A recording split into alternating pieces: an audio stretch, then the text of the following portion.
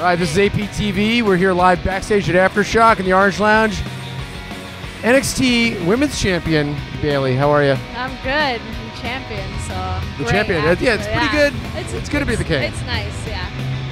Now we're, we're just talking off camera. You recently won this belt uh, from the boss Sasha Banks at uh, NXT Takeover Yep. uh, in Brooklyn. What was? T- tell us a little bit about what it meant to you from your journey to win that belt.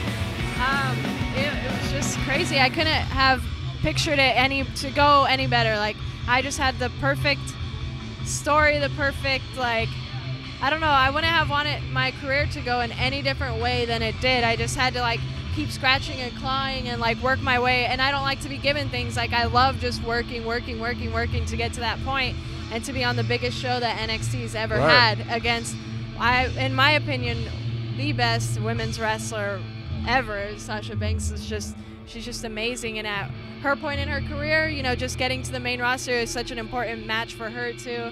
It was like I don't know, it was just so special to be in front of 15,000 people or however many people Right. were there in New York and I don't know. I just I honestly still can't believe like this is my life right now and that that's mine. I forgot it when I went to an autograph signing earlier because I'm like, "Oh yeah, I'm the champion." It's been like 2 months, but I'm just it just still feels like a dream. And when you go out, like say you go to a club or you're out somewhere and someone like IDs you or stops you at a door, do you just plunk that on the desk and all just the say, time. Or if you know I go to a restaurant and they're like, "Oh, it's 35 minute wait," I just like, you sure? I heard it's about uh, I heard it's an open table. That's what I would use that belt for. Well, totally. it was, you know, and as you imagine for wrestling fans, you know, many have said that it was the the match of the year, you know, and it was the first Mm. time. Uh, again, when you guys did your, your second event, that you know, you you have uh, women wrestlers headlining the event. So what is Yeah. that kind of like to kind of be that trailblazer in that world? It's r- it's really crazy because obviously you have all these dreams when you're, when you're kids, and Sasha and I grew up the same, like having the same dream since we were 10 years old, and uh, even getting to the WWE, I, was- I always wanted it, but in the back of my mind, I'm like, it's so far out of touch, like I- so out of reach, like you never really think you're gonna get there, and like same with this, like. I always told myself I would make WWE history, but I actually did. Like nothing, nobody could ever take that away from Nope. me now. Like 15 years from now, Sasha and I are going to be a part of history. People are going to look back and see it. We'll always have our spot in history, no game-changing matter moment. what. And it's, uh, it's just amazing to. I didn't didn't change who I was. Like I was, I tried to be like Lita, where she was just like so different and just herself, and she was so successful. And like that was as a kid, that was why I loved her so much. Right. Because she was just just herself and that's kind of what I've been trying to do and my love for wrestling. I just love wrestling so much. And to be able to have this means something and everybody care about it is still it's overwhelming, but it's a great feeling. So you guys at NXT are here today, and you're also a couple weeks ago louder than life at these rock festivals. You've Yeah. been doing a wrestling thing at the rock rock festivals.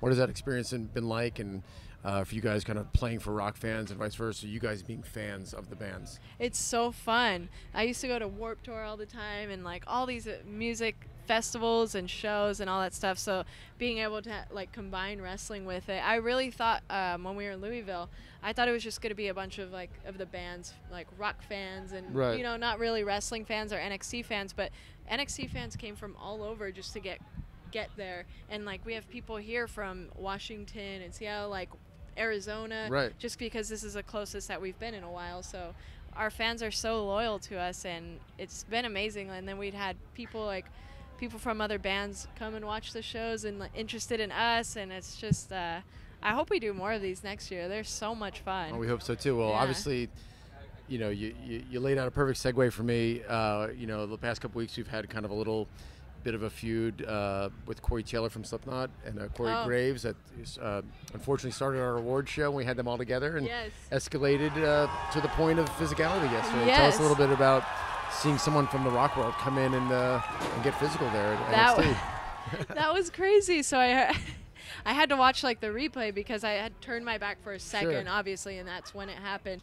And it was so cool. I was like, man, he must be. Uh, just that I'm even like I'm, I'm a part of this show. and Slipknot is like a part of our show. Right. It's just so so crazy. We're doing everything we're doing is something new. Like that people have never seen before. Right. Like NXT is just doing new things all the time, and just to have somebody Slipknot part of our show and just I don't crazy. know, yeah, it was great. Well, you mentioned you you grew up going to Warped Tour and stuff, and earlier that you're uh, a reader of AP. Yes. Tell us a little bit about your favorite bands you got to see on Warped as a kid growing up, and uh, some of those Ah. your favorite memories.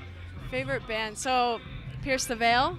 I love Pierce the Veil so much. Heard of them? Yes. Uh, I, I heard Dance Gavin Dance earlier, they're great. and I was like flipping out because I, I haven't heard like I used to listen to them in high school. Um, Taking Back Sunday, Paramore when they first started, they were like in the She, she's right behind you. I, oh my gosh! If she, if you guys know her, Hayley Williams, dude, be my best friend. She's my favorite ever. Uh, I just love we will them. put in a good word. Yeah, she's my favorite. Um, yeah, man, I could. Uh, it's just been so long since I've listened to music. Wrestling's my life right now. Um, those are the top ones. Paramore's just always been number one.